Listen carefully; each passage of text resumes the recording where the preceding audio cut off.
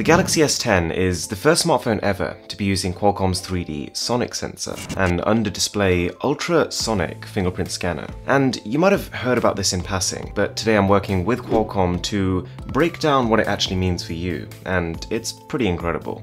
Compared to an optical scanner, which essentially takes a low-res 2D snapshot of the finger, this uses high frequency sound waves. It fires them into the pores of your finger and then uses the time taken for them to return to detect ridges in three dimensions. So that's cool, but there's a lot of subsequent benefits to having a 3D sonic sensor in your smartphone. It is tiny. The 3D sonic sensor is 0.2 millimeters thick. The alternative and current best solution out there is an optical scanner, which uses a small camera under the screen and is about 15 times thicker at 3mm. There's always a compromise with phones that use optical scanners. You either need to have an outright smaller battery, a thicker phone, or you need to get a custom battery made to fit around the scanner, which will still be smaller than a battery you can have with a 3D sonic sensor, but also more expensive to make. Also, with an optical scanner scanner, you have to press your finger into the display using about 100 grams of actuation force. Because an ultrasonic sensor is firing waves out, it doesn't matter. You can get away with 15 grams of actuation force, which is the equivalent of grazing your finger against the screen. It can also scan straight through contaminants, and in fact is the only mobile tech out there right now that can still accurately detect prints through dust, water, or even some moisturizer you just put on your hands.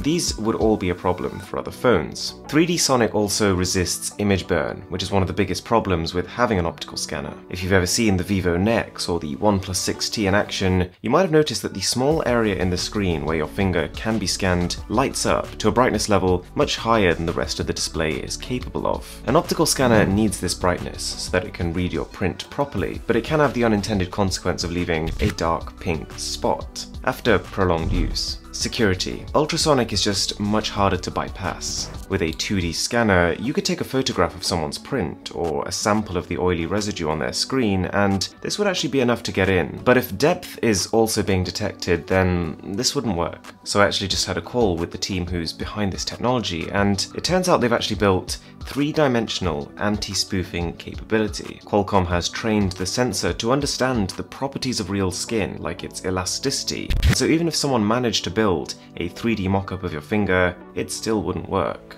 But I guess maybe the coolest thing about it is that the 3D Sonic scanner can do all of this whilst still being faster than the optical scanner. The entire unlock process from start to finish can be done in 0.2 seconds with this, compared to 0.35, so it's nearly twice as fast as optics. And this is only the current generation of scanners, there's quite a big future here. The potential to detect what is happening not just on your finger, but also up to 4 millimeters behind it. It could detect your blood flow or your heart rate in an instant. Also, the fact that this tech sits behind your screen and doesn't need your screen to be on to power it can save a lot of battery. With an optical scanner, the finger has to be brightly lit up, and considering that the average person unlocks 200 times a day, it all adds up. I'm also pretty excited for larger fingerprint scanners. This tech can be quite easily scaled, and so the idea of having an all-screen 3D sonic sensor is not an impossibility. Alright guys, thank you so much for watching, and I'll catch you in the next one.